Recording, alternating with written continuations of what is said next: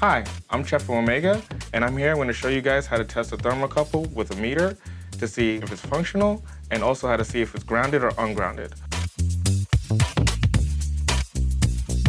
So to help us out today with this, we have our multimeter here. We also have our alligator clip test leads here. We have one type K thermocouple that's ungrounded.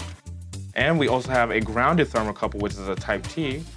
First thing that we're gonna need is our multimeter and we're gonna put it on the ohm setting. First thing we're gonna do is we're gonna test continuity across the thermocouple. So I'm gonna take my positive lead and just attach it to any wire because we're not worried about polarity when testing for resistance. And I'm gonna test this lead as well and put my negative here. Now I'm looking at my multimeter and as you can see, I'm getting a resistance value. I'm getting about five ohms which is what you want because thermocouple wire has very low resistance. So that means that there is continuity and there's no break along the thermocouple. So thermocouple is still functional.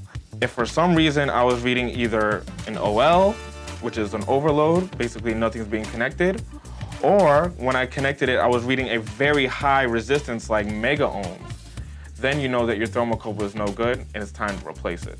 So this Type K thermocouple is functional. Now we're gonna take this Type T thermocouple and do the same thing. I connect my negative lead to whatever wire, and I take my other lead and I connect to the other wire, and let's see what kind of resistance we get. And as you can see here, I'm reading about 5.4 ohms, just a little bit more than the other one.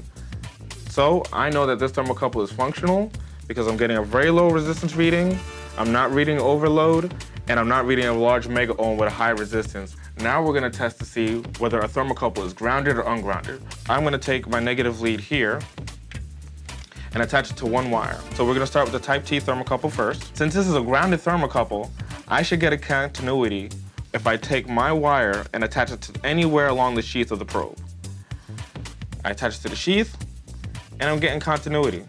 This is a grounded thermocouple. If this was an ungrounded thermocouple, I would read oh well, which basically there's no continuity.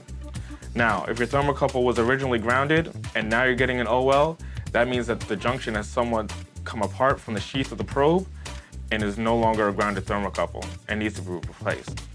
So now we're gonna test the type K thermocouple, which is an ungrounded thermocouple, to double check on that as well. So I'm gonna take one of my leads here and I'm gonna attach it to any wire, whether it's the yellow or the red wire insulation. And now I'm gonna take my other wire and I'm just gonna touch the sheath of the probe. Now, if this was a grounded thermocouple, I would be reading a connection right now or getting some kind of ohm reading.